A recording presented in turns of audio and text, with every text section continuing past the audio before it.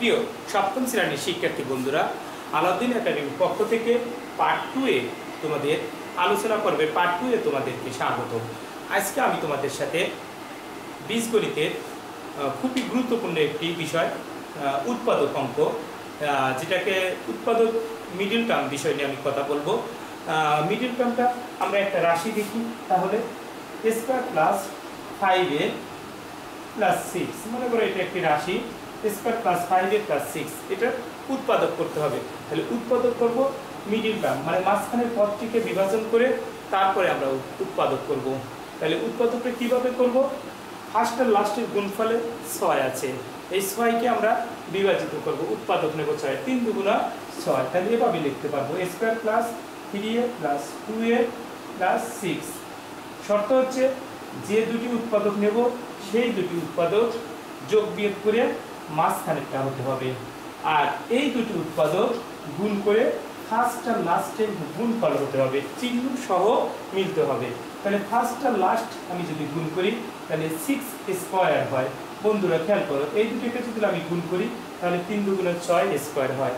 আর যোগ করলে পাঁচ হয়। এই দুটি শর্ত যদি চিহ্ন সহ মেলে, তাহলে সেটাকে আমরা মিডিল টার্ম করতে পারি।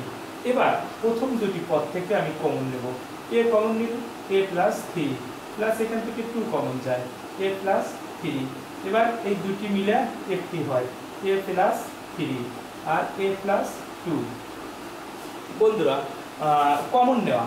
কমন নেওয়া শব্দটি মানে কমন নেওয়া মানে এই দুটি পদকে মনে মনে ভাগ করে দেওয়া। তাহলে এখানে দুটি আছে, এখানে একটি আছে। আমরা কমপক্ষে এ দ্বারা ভাগ করতে পারি, তাই এ কমন গিয়েছে। এখানে এ নেই, এটা টু আছে, এটা সিক্স আছে। তাহলে দুইকে দুইটা ভাগ করা যায়, ছয়কেও দুইটা ভাগ করা যায়। তাহলে এখান থেকে আমরা দুই মনে মনে কমন নিতে পারি। এবার আসা যাক একটি অনুশীলনী অঙ্কে। সে মনে করো পনেরো নম্বর অঙ্ক। পনেরো নম্বর অঙ্কটিতে আছে square plus three A minus forty তাহলে এটাকে আমরা চল্লিশের দুটি উৎপাদক নেব, পাঁচ আটটা চল্লিশ। আট থেকে পাঁচ বাদ দেবো তিন পাবো তাহলে। স্কোয়ার প্লাস এইটে মাইনাস ফাইভে মাইনাস ফোরটি এবার এখান থেকে এ কমন নেব A plus eight minus five common নেব তাহলে এ প্লাস এইট যখন মাইনাস কমন নেব তখন লাস্টের চিহ্ন পরিবর্তন হবে। লাস্টের মানে রাশির চিহ্ন পরিবর্তন হবে। তাহলে এখানে ছিল মাইনাস ফোরটি মাইনাস ফোরটিকে মাইনাস ফাইভ ভাগ করলে মাইনাস মাইনাসে প্লাস আর পাঁচাশটা চল্লিশ। এবার এই দুটি উৎপাদক থেকে আমরা একটি উৎপাদক নেব A plus eight into A minus five এটাই আমাদের অঙ্কের অ্যান্সার এবার আসা যাক আরও একটি অঙ্কে। সতেরো নম্বর অঙ্ক। কি আছে? X square plus X square plus এগারো এক্স প্লাস তিরিশ। বন্ধুরা খেয়াল করো, তিরিশের দুটি উৎপাদক নেব, যেটা যোগ বিয়োগ করে এগারো হবে। তাহলে অতি সহজ। X square plus five X plus six X plus thirty তাহলে এখান থেকে এক্স কমন নেব। X plus five plus six common নেব। এক্স প্লাস ফাইভ তাহলে এবার এই X plus five X plus five মিলে একটা এক্স প্লাস ফাইভ হবে। আর এইটা, আর এখানকার একটা চিহ্ন সহ এসে আরেকটি জোড়া হবে।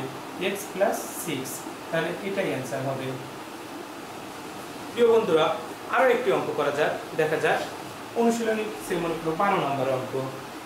Y square minus six Y minus একানব্বই। তাহলে একানব্বই উৎপাদক নিতে হবে।